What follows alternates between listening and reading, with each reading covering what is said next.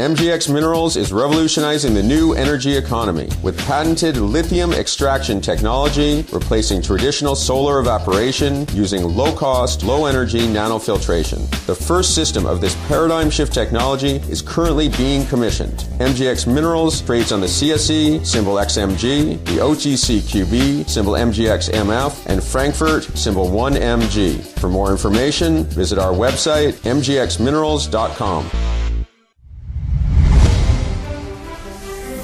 Welcome to the Goddard Report. Comments made on the Goddard Report and TalkDigitalNetwork.com are an expression of opinion only. Here is Jim Goddard. My guest is Kris Sims, BC Director of the Canadian Taxpayers Federation. Welcome back to the show, Kris. Thank you so much. Kinder Morgan, the Canadian government purchased the pipeline in order to, I guess, further the construction and twinning of it. Is this going to be a good deal for the Canadian taxpayer considering they haven't been able to find a buyer? We're extremely worried about this.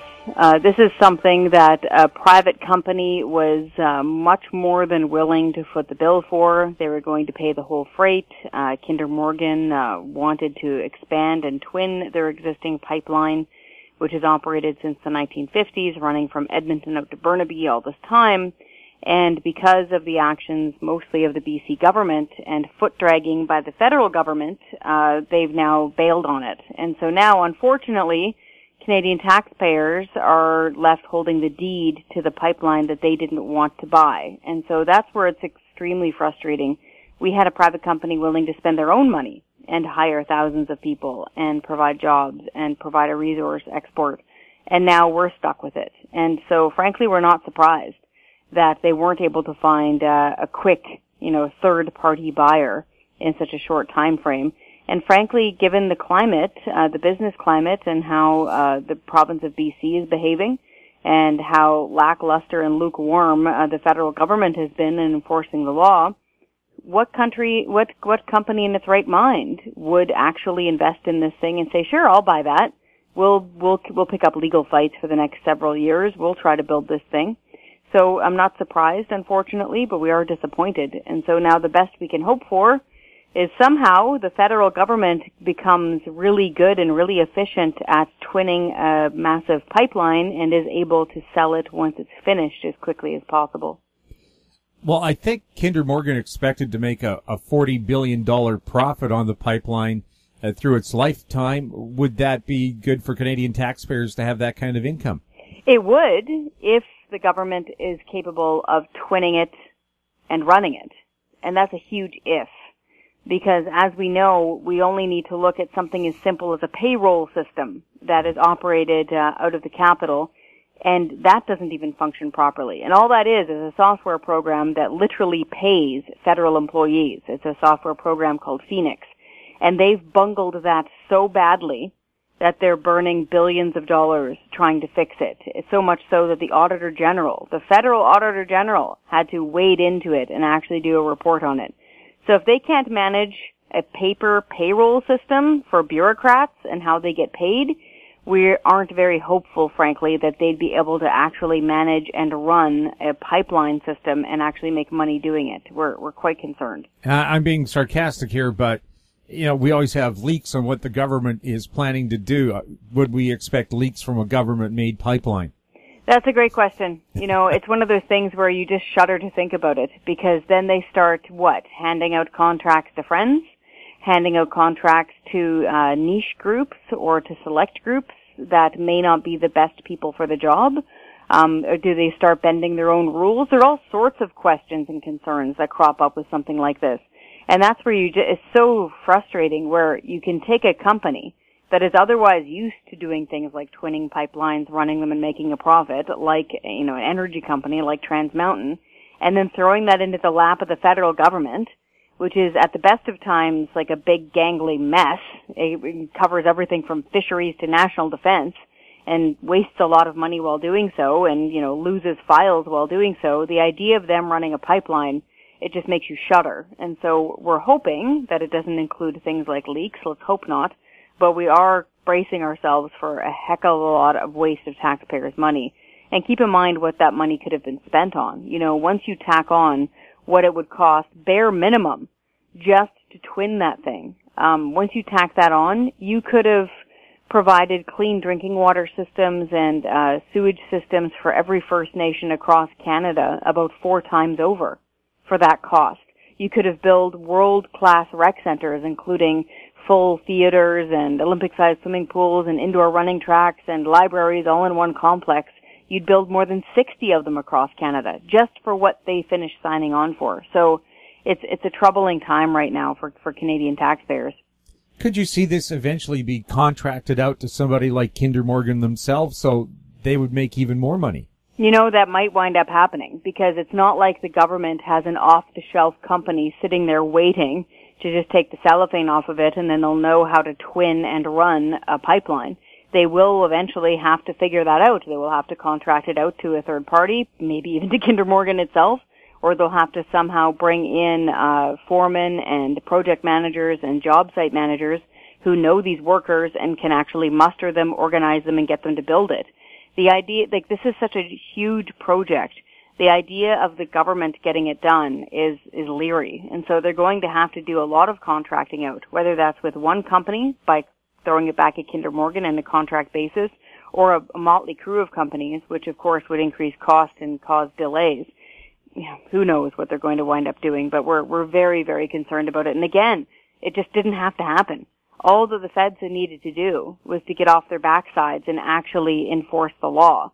They had already declared that it had the green light, it had been given all of the proper uh, regulatory approvals. All they needed to do was declare that the feds have the right of way, which they do, and to just say this is what's going to happen. But Prime Minister Trudeau didn't do that. And so here we are.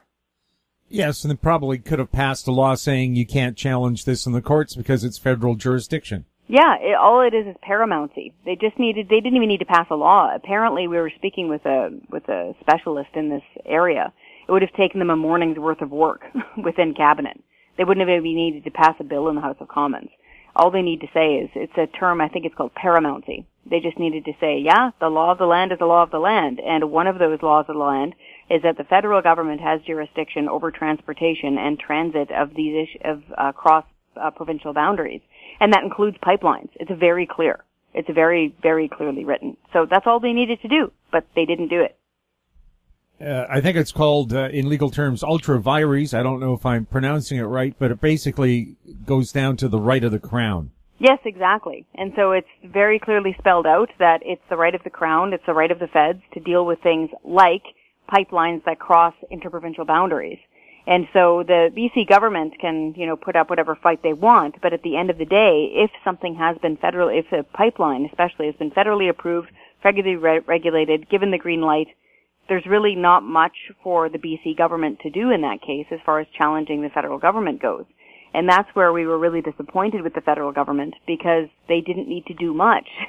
they only needed to enforce what they had already said they were going to do, but they didn't they ragged the puck and dragged their feet, and we wound up with a massive corporation like Trans Mountain throwing its hands up in the air and saying, you know what, we're not doing this anymore. And not only does that put the, this current project in jeopardy and in peril and in question, it sends a signal to other corporations and other companies that Canada can't get its act together. That even if you come in into Canada and you spend millions of dollars and many, many years going through dozens and dozens of hearings and consultations, you name it, blah, blah, blah. You get all the green lights.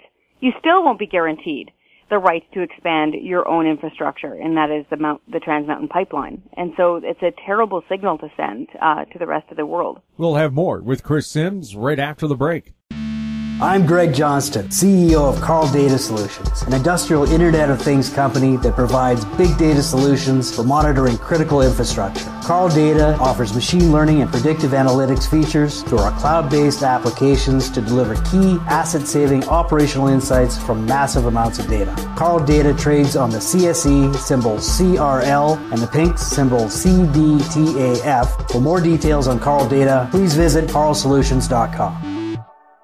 Aben Resources Limited is a gold exploration company with significant projects in British Columbia, Saskatchewan, and the Yukon. Trading on the TSX Venture Exchange, symbol ABN, and the pink symbol ABN AF. surrounded by world-class gold deposits and mines. Aben's 23,000 hectares Forest Kerr Gold Project is located in the heart of the Golden Triangle in northwestern BC. For more information, visit us at abenresources.com. Welcome back. We're speaking with Kris Sims. Kris, you have some concerns about ICBC rates for motorhomes. Can you explain?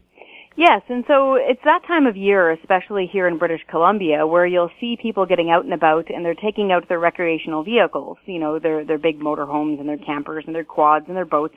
And we need to keep in mind that in many cases, especially with the motorhomes, they need to be insured.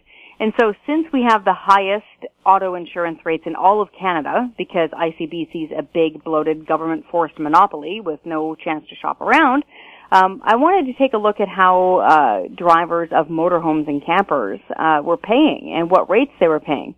And so, because it's seasonal, and it was interesting to see so many vehicles on the road. So I took an example of, say, your average year 2000 Class C motorhome. That's the size of the ones that you'll often see for rent that are driving around on our highways. And it's, you know, not brand new, 18 years old, worth about $10,000. If you took that motorhome and you took your driver who maybe lived in Burnaby and you insured that motorhome under ICBC's forced monopoly, it would cost $1,400. If you took a very similar driver without even as clean a driving record, you know, say they're still a decent driver, but the exact same vehicle worth the same amount of money in Calgary, they'd pay $400 to insure that vehicle. It's a thousand dollars more expensive in British Columbia to insure your motorhome to drive around and enjoy this summer than it is in Alberta. And the reason for that is because the driver in Alberta can shop around. Uh, he or she can take their driving record, they can price compare, they can price match, they can get a company to beat the other one's offer. They can actually shop around based on their own experience, as we do with shopping with everything else, and get the best rate for themselves or for their families. Here in British Columbia, nothing you've got no choice. If you want to drive a vehicle in this province, you must deal with ICBC, and that is it. And so that's why we uh, launched our website uh, this past week. It's icbcchoice.ca, and that's simply where we're encouraging people to write a letter to Premier John Horgan, to the leader of the opposition, to the leader of the Green Party, to their MLAs, saying that they want choice for auto insurance. And so that way, if you want to pick ICBC and stick with it, that's fine. Just turn it into a co-op so that it's owned by the drivers who choose it, like a credit union, very similar to that. And then next to that, open it up for competition. So those of us who don't want to deal with ICBC anymore and want to take our driving record on the road, so to speak, and shop it around and get a lower rate can do so. But right now we have no choice, and that's fundamentally unfair. And I think the example of a motorhome is a perfect example. You have the pretty much the same driver, the exact same vehicle, the same level of coverage. On the opposite side of the Rockies, $400. Over here, $1,400. That is fundamentally unfair. Wasn't ICBC created to uh, give people affordable car insurance? Yes, so back in the 1970s, when this thing was born, which is what we try to point out was born in the era of the Gremlin and the Pinto, and we need an update. Gunsmoke was frankly the most popular TV show, and we need an update. So it was created way back when things were different in the insurance industry, and they wanted to bring some form of stability to it and lower insurance rates. Now we are generations ahead, and the auto insurance uh, system and business has changed dramatically. So much so that now basically the rest of Canada has passed us by here in BC. We've been stuck with this 1970s corp, this government monopoly, since it was started uh, by the Barrett government, and now the rest of Canada almost always has a choice in auto insurance. And so they can shop around and we can't. You can shop around for auto insurance in Alberta and Nova Scotia and we can't. And in fact, I was just speaking with a small business owner in Langley a few days ago who had moved here this last year from Montreal and he couldn't believe the cost. He was pulling his hair out. He said that back when he lived in Montreal, he had a daily driver, you know, it was insured for every day going to work. He paid a little over $40 a month for his auto insurance. Like, that rate is just, you know, a pipe dream for people in British Columbia. They couldn't believe it. But it's true. Quebec actually has the lowest cost of auto insurance in all of Canada. And he came out here great driving record, same person, same vehicle, and he's paying through the nose. And that is because if you ever have a monopoly, you're, you're never going to have competitive prices and you're not going to have innovation and good service. It's just common sense. Also, too, uh, with the people who have the motorhomes in BC, you have the privilege of paying the highest gasoline prices in the country on top of having the highest insurance for it. Yes, exactly. It adds insult to injury. So you've got the highest gas prices in all of North America, especially in the Metro Vancouver area. And now that they're jacking up the transit tax and they'll be jacking up the carbon tax again next spring, we will then be paying the highest taxes in all of Canada on our on our vehicle fuels and on diesel and gasoline. And so you combine that with the highest auto insurance rates, I'm surprised people frankly leave their homes. You know, it's it's a tribute to the human spirit that they persevere and pack up the kids and pack up the motorhome anyway and get out there and enjoy the great outdoors. But what we want is for people to stop getting screwed over by ICBC. It is fundamentally unfair that they're paying a thousand dollars more in Burnaby than they are in Calgary. And we even tried to be as fair as possible. We took a, a driver in British Columbia and made them a saint. They hadn't had an accident or a speeding infraction in 20 years. And they were paying $1,400 to insure their motorhome. In Calgary, we just had a five year good driver. Like, and they were still paying a $1,000 less. So, you know, if it weren't costing so much money, it would be almost laughable.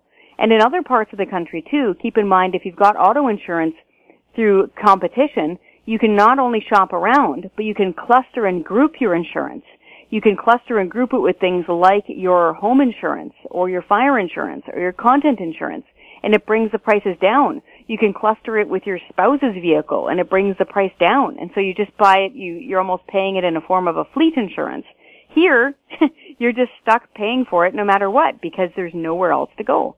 It's a cluster, all right. Uh, it sure is a cluster of something and a dumpster fire on top of that, which is why we're begging David Eby, the minister responsible, um, to listen to us and to change ICBC into a co-op. If they don't want to tow it to the scrapyard, fine, but give that Pinto an overhaul and change it into a co-op. Let people pick it if they want to, but if they don't want to, let the adults who own driver's licenses and vehicles shop around and get lower rates.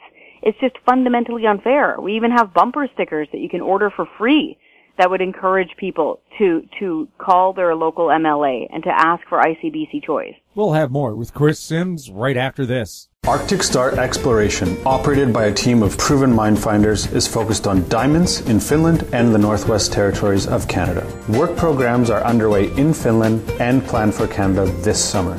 Arctic Star trades on the TSX Venture Exchange symbol ADD, on Frankfurt symbol 82A1, and the OTCQB symbol ASDZF. Please visit our website arcticstar.ca or call us at 604 689 1799. Don't miss out. Stay informed. Receive the HoweStreet.com weekly recap with thought provoking podcasts, radio, and articles delivered to your inbox. Sign up for the HoweStreet.com weekly recap on our homepage at HoweStreet.com. Welcome back. We're speaking with Kris Sims. Kris, uh, an item that Bob Mackin brought up on my show he said, why don't the victims of all the BC wildfires sue the government because they didn't use the Mars water bomber, the only firefighting aircraft that can fly at night and fight fires when nothing else can? Is that a good idea? Hmm. That's a good question. I hadn't thought about it in the context of taxpayers. Um, so just speaking personally, um, I was raised in the Fraser Canyon and on Vancouver Island, and uh, in my own experience, um, just watching the news, it always seemed to be the standard way of fighting forest fires. That it was a really neat innovation. From what I remember, it's a special plane that can fly low over water and scoop up water and then fly back up into the air and dump a whole lot of water all at one time. And so I know a lot of British Columbians, especially those who were in forest fire prone areas, developed a real affection for that vehicle and they were able to actually get fire, fire, uh, fire, forest fires put out more quickly. And so again, just speaking personally, um, that was something that I was used to as a British Columbian girl. So not sure then why now in modern times and we're not using it. Is that the case? We're not using the Mars water bomber at all? Is it because from what I recall, the person who developed it owns the rights to it, and the government isn't paying for it. Is that the case? Well, yes, uh, Coulson uh, Aerial Tankers or Flying Tankers, I think is the name of the company. The Martin Mars, yes, was built in the 40s, mm. you know, to supply troops and so on. But it has the unique ability, yes, to scoop up uh, 8,000 gallons of water in about 30 seconds, fly to the fire. And in BC, we have major lakes and rivers everywhere, so it's not a shortage of water. The argument is it's old. Well, it's not old when you look at the interior. It has what they call a glass cockpit. It uses virtual reality hmm. to uh, and GPS. So when other airplanes are grounded because of heavy smoke or at night, it can fly and put out four acres of fire at a time. Now, uh, nothing else in the world can do that. It's it is unique, and its specialty is initial attack. In other words, you spot a forest fire, and it could knock it down before it becomes a serious matter. Uh, Vancouver Island for decades had no serious forest fires mm-hmm. because it had access to the Martin Mars. At the uh, BC Municipal the Union of BC Municipalities meeting, mayors asked for the right to call in the Mars if they felt their communities were threatened by fire, and the provincial government said, "No, you can't." And so, why did they say no? Was it because of cost or licensing rights? Or? They they they don't have a good reason, and uh, what I'm hearing it's a very political reason why they won't do it, and uh, it may even uh, smack of corruption. So we are uh, taking a closer look at that in the Goddard report, and we'll try to file further stories on it. But right now we're just getting stonewalled, and we get laughed at when we asked why are you not using this unique piece of firefighting equipment that frankly doesn't exist anywhere else in the world. When the Martin Mars was contracted out to Mexico for three months to fight their forest fires, it came home after a month because it had put them all out. Amazing. Uh, yes. Uh, you know, in, in any situation, frankly, um, regardless if it's taxes or regulations or laws, if people stand up and be heard and speak out, and like I mean it. Pick up your phone if you feel strongly about this. Any of your listeners feel strongly about this, and it's something they want to see at least explored um, and and reconsidered. Pick up your phone. Phone your MLA. Write a handwritten letter and write an email. And then after that, write your letter of the, your your letter to the editor of your local newspaper and phone your local radio station and you will be heard. There's a, there's a rule, as you know, of course, in talk radio, where the idea is that for every caller you get in for a call-in show that speaks up about something and sounds off, around 100 other people care. So that's a general rule of thumb. Well, I can tell you that same thinking applies in political offices. So for every phone call that you make into the constituency office and to the capital office, in BC's case obviously it would be into Victoria, the staffer there usually thinks if this caller called me and cares, roughly 100 other constituents, also known as voters, care about this. And so no matter what issue it is, I just encourage everybody, just be active. Like if it's about the Mars bomber, if it's about Kinder Morgan, if it's about ICBC, any of these things, like it really, really matters if you have your voice heard. And that is what moves politicians because frankly, if they think that they're not going to get your vote, they're worried that their salary is going to be cut because they're not going to win the next election. That's what really pushes them. Uh, also, uh, firefighters are under a gag order not to comment on the Martin Mars water bomber, I believe. Hmm. Uh, I saw the, the Martin Mars in action on the Burns Bog fire several years ago. It was estimated it would take three months to put out the deep burning fire underground. I think the Mars had it under control in three days. And I saw the firefighters cheer when it first showed up. Hmm. Well, now they're not allowed to talk about it or they'll lose their jobs. That sounds so, see, this is the first I've heard about that element of it. That sounds super weird. I can just say that as a kid growing up on Vancouver Island, uh, you're right. We, you know, it was like a revered piece of flying equipment. It, it was, uh, maybe second only to the Avro Arrow for, for for reverence. And so it surprises me that there's this complicated of a situation around it. I didn't realize that. Uh, there's a major propaganda prop uh, propaganda campaign against using it. I don't know why, hmm. but uh, we are trying to dig into it. I know uh, Wayne Coulson, the owner of the bomber, said it costs $120,000 an hour to operate. But he said only in Canada do they look at that. Every other country looks at how many liters or gallons of water per hour you can put on a fire and what it costs. And he said, when you break it down that way, it's actually the cheapest firefighting airplane in Canada. Because you want to be efficient. Like you want to get, you want to get the job done. And so. Yeah, it's like they don't want the fires to be put out. It's like an industry. So strange. And so, you know, we we are the Canadian Taxpayers Federation, but we realize that sometimes money does need to be spent for preventative measures. For example, there was the recent uh, report, I don't know if you saw it, where uh, Canadian taxpayers are paying for things like condoms and uh, preventative measures for STDs for inmates, for prisoners. And so it's, you know, several thousand dollars per year. But the alternative is to not pay for it, and then what? You have sexually transmitted diseases, things like HIV, Hep C, etc., being spread within uh, federal institutions like prisons. That's not a wise thing to do. And so it's always better to be preventative in order to save money, frankly, down the road. And I don't know if it's the case with this particular plane, um, but just again, speaking personally, it was always seen as a, a hero um, when I was a kid in Vancouver Island. So I'm surprised there's such a complicated factor around it now. Well, we had a record forest fire season last year. The plane was never used, hmm. and BC taxpayers paid a record amount of money and they even offered the Mars water bomber for free to demonstrate its ability to fight fire at night, and the government said no. Huh, that is just bizarre. And then we only need to remember Fort Mac as well. I'm not sure what equipment was used there to put it out. The Alberta government didn't ask for the Martin Mars either. They said there wasn't any suitable water source nearby for the plane. Uh, there's Lake Athabasca. There's, uh, you know, the lesser Great Lakes, uh, near uh, Fort McMurray.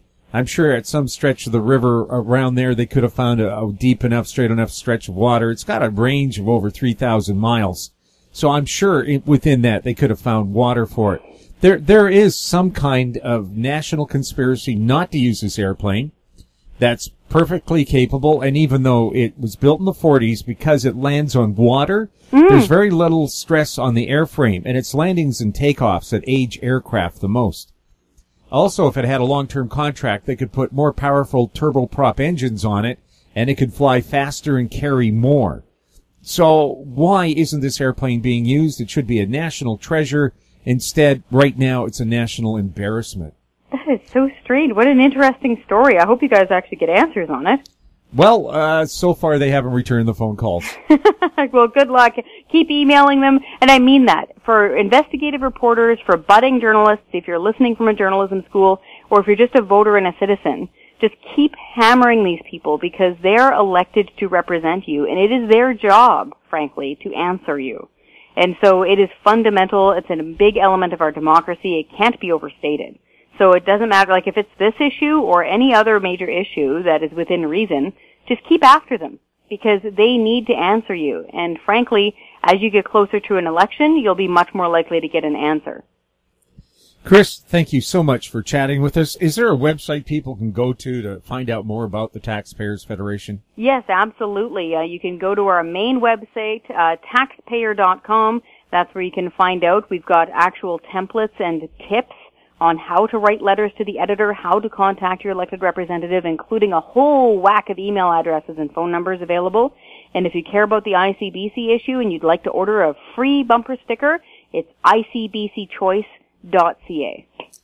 Oh, and, and just before we go, Kris, is the Taxpayers Federation a political organization funded by political parties or from a, a certain political angle? No, we are absolutely nonpartisan. In fact, uh, our staff are not allowed to even have a membership in a political party. We are funded by grassroots activism from donations from everything from, you know, little old ladies running their families to small businesses. We've been around for almost 30 years. And in fact, we aren't even a charity. So that means that if you make a donation to us, we really appreciate it, but you don't get a charitable donation receipt because that would incur cost to the taxpayer. So we are that careful about it. We are a not-for-profit advocacy organization that is nonpartisan. Anybody is able to sign up to get information and anybody can support us. Kris, thanks again. Thank you so much. You take care. My guest has been Kris Sims, BC Director of the Canadian Taxpayers Federation, their website, taxpayer.com. You're listening to the Goddard Report on TalkDigitalNetwork.com. If you have any questions for the show or our guests like Kris, you can send them to info at HoweStreet.com. Comments made on the Goddard I'm Report Goddard. and Thanks for listening. TalkDigitalNetwork.com are an expression of opinion only. The Goddard Report is available online and mobile at TalkDigitalNetwork.com. The Goddard Report is a production of Howe Street Media Incorporated.